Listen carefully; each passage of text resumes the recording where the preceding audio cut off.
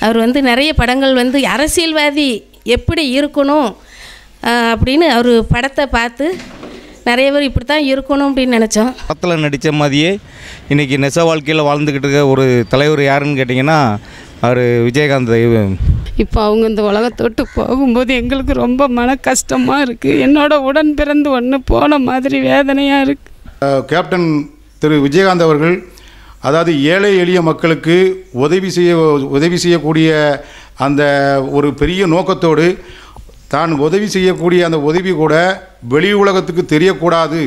நம்ம செய்யக்கூடிய உதவி வந்து அந்த குடும்பத்துக்கு நல்ல முறையில் போய் சேரணும் அப்படிங்கிற ஒரு நல்ல மனப்பான்மையோடு செய்யக்கூடிய ஒரு ஒரு தன்னலமற்ற ஒரு கேப்டனாக விளங்கிய ஒரு நல்ல மனிதர். அவரோட படங்கள் நாங்கள் விரும்பி பார்ப்போம். அவரோட பாட்டு வந்து இன்றைக்கும் ரசிக்கிற அளவுக்கு எல்லாரும் விரும்பி கேட்குற அளவுக்கு ஒரு பாடல்கள் எல்லாமே அமைஞ்சிருக்கு. சின்ன பிள்ளைங்கள்லேருந்து எல்லாருமே நாங்கள் கேட்ட பாடல்கள் எல்லாமே இன்னமும் நாங்கள் விரும்பி கேட்டுட்டு தான் இருக்கிறோம். என் பேர் மணிகண்டன். திருச்செந்தூரில் ஆட்டோ ஓட்டிக்கிட்டு இருக்கேன். தேமுதிக தலைவர் எதிர்க்கட்சி தலைவராக முன்னால் இருக்கும்போது ரொம்ப நல்ல நிறைய நல்லது செஞ்சுருக்காரு. ஏழை மக்கள் எப்போ போனாலும் சரி எது எந்த நேரம் போனாலும் அவரை பார்த்து எதுனாலும் பேட்டு கேட்டுக்கலாம் பேசிக்கலாம். அந்த லெவலில் உள்ள தலைவர் அவர். இன்னும் கொஞ்சம் அவர் நல்லா இருந்திருந்தாருன்னா தமிழ்நாட்டுக்கு கூட முதலமைச்சராக வாய்ப்புகள் நிறைய இருந்துச்சு. அவருடைய கஷ்டங்களோ என்னமோ தெரியல ஆண்டவனுடைய விதியோ தெரியல. அவர் இறந்தது மனம் ரொம்ப வேதனையாக இருக்குது வணக்கம். திருச்செந்தூர் ஆட்டோ ஸ்டாண்டு ஓட்டுநர்றாங்க திருப்பதி என் பேர். இன்றைக்கி அவர் உதவின்னு செஞ்சால் ஏகப்பட்ட உதவிகள் கேட்காம அள்ளி கொடுத்தா படத்தில் நடித்த மாதிரியே இன்றைக்கி நெச வாழ்க்கையில் வாழ்ந்துக்கிட்டு இருக்க ஒரு தலைவர் யாருன்னு கேட்டிங்கன்னா அவர் விஜயகாந்த் விஜயகாந்த் தான். ஆனால் இந்த மாதிரி ஒரு தலைவரை வந்து இனிமே தேடினாலும் கிடைக்காது இருந்தாலும் பார்க்க முடியாது. வணக்கம். என் பேர் ஆனந்த் திருச்செந்தூர் பேசுகிறேன் அவர் திரைத்துறையிலையும் சரி அரசியலும் சரி சிறப்பான இடத்த பிடிச்சார். இன்றைக்கி அவர் இங்கே இல்லாமல் காரணம் ஊடகத்துறை. நீங்கள் தான் அவரை கொண்டுட்டீங்க அவரால் தான் இன்றைக்கி நம்ம ஒரு அரசியல் ஒரு நல்ல தலைவரையும் இறந்துட்டோம். வணக்கம். திருச்செந்தூர் தாலுகா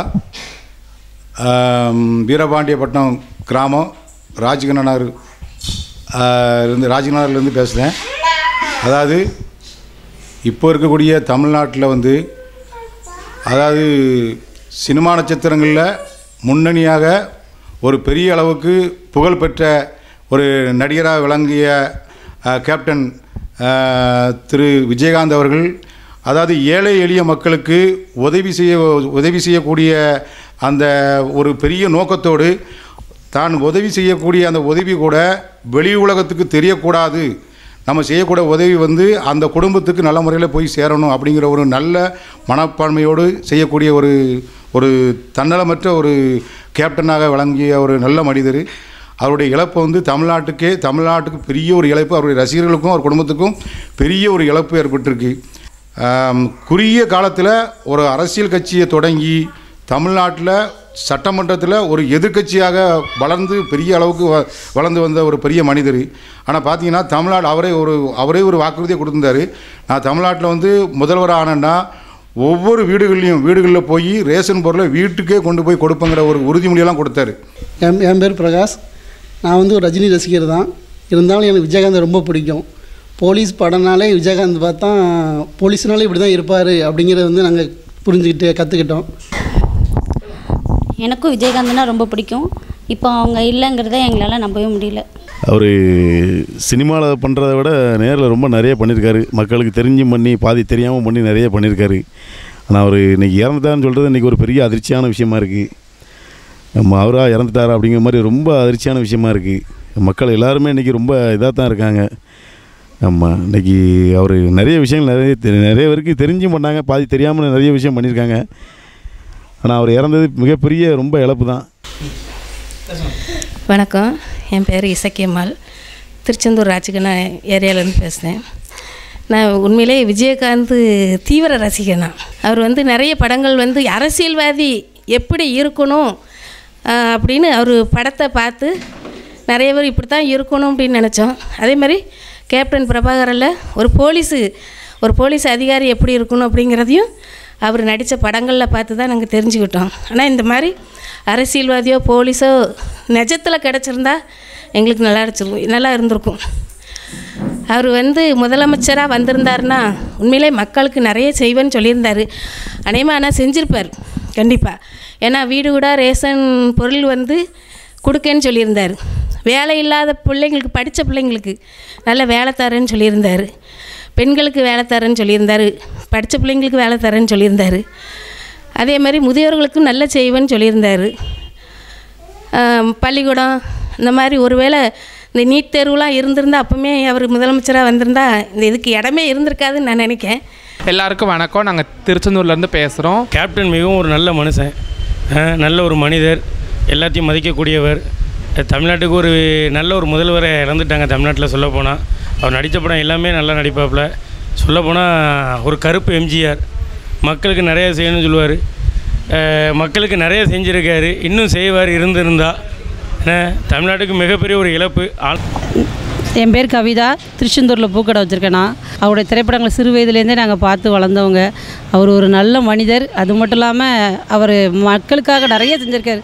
அவர் இன்னும் சில காலம் உயிர் வாழ்ந்தா இன்னும் இந்த நாட்டில் நிறைய மக்களுக்கு நல்லது செய்வாங்க.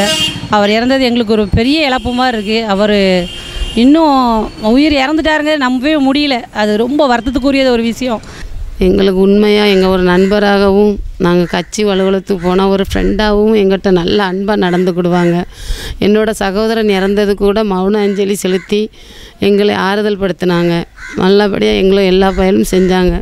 இப்போ அவங்க இந்த உலகத்தொட்டு போகும்போது எங்களுக்கு ரொம்ப மன கஷ்டமாக இருக்குது என்னோட உடன் பிறந்து ஒன்று போன மாதிரி வேதனையாக இருக்குது ஏன்னா என் குழந்தைகள் என் குடும்பம் எல்லாருமே கேப்டன் அவர்களை தான் போற்றி பேசுவோம். மனவேதனையாக இருக்கிறது. அவரோட இறங்குறது எங்களால் ஜீர்ணிக்கவே முடியலை. திருச்செந்தூர்லேருந்து நாங்கள் பேசுகிறோம் என் பேர் பார்வதி. நான் ஒன்றிய செயலாளராக இருக்கேன். நாங்கள் கேப்டனுக்காக நாங்கள் பன்னெண்டு வருஷம் உழைச்சோம். ஆனால் அவர் இப்படி எங்களை எங்களுக்கு எங்களுக்கு நாங்கள் ஒரு கூட பிறந்த சகோதரனை தான் நாங்கள் நினச்சோம் நல்லா எங்களுக்கு உதவி செஞ்சார். நாங்கள் அவருக்காக எவ்வளவோ பாடுபட்டோம். அப்படி இருக்கிறதுக்குன்னு இவ்வளோ சீக்கிரமாக எங்களை விட்டு அவர் மறைவார்னு நாங்கள் நினச்சி பார்க்கல. நாங்கள் எம்ஜிஆருக்கு அப்புறம் நாங்கள் அழுதது இவருக்காக தான் நாங்கள் அழுதுருக்கோம். இவர் சின்ன முதலமைச்சராக நாங்கள் ஆக்கி பார்க்கணுன்னு ஆசைப்பட்டோம். ஆனால் அது நடக்கலை. அவர் எங்களை விட்டு இவ்வளோ சீக்கிரம் மறைவார்னு நாங்கள் நினச்சி கூட பார்க்கல.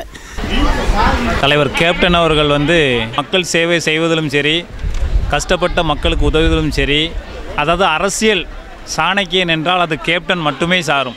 எந்த ஒரு எதிர்பார்ப்பும் இல்லாமல் மறைந்த முன்னாள் முதலமைச்சர் எம்ஜிஆர் மாதிரி வாழக்கூடிய இந்நாள் முதலமைச்சர் என்றே நான் அவரை சொல்ல இயலும். நான் ஒரு மாற்றுக்கட்சி சம கட்சியை சார்ந்தவன் என்றாலும் நான் வந்து அரசியலை கற்று தந்த ஆசான் என்று சொல்ல போனால் உண்மையிலே அது விஜயகாந்தை தான் சொல்லுவேன் மேடை பேச்சிலும் சரி அவர் திரை படத்திலும் சரி மிகுந்த ஒரு நல்ல மனிதர். அவரை போல் ஒரு ஒருவர் இனிமேல் பிறப்பாரா என்று கூட யாராலும் சொல்ல முடியாது. குறிப்பாக நடிகர் சங்கத்தை வந்து இந்த அளவுக்கு உயர்த்தியதும் அவர்தான்.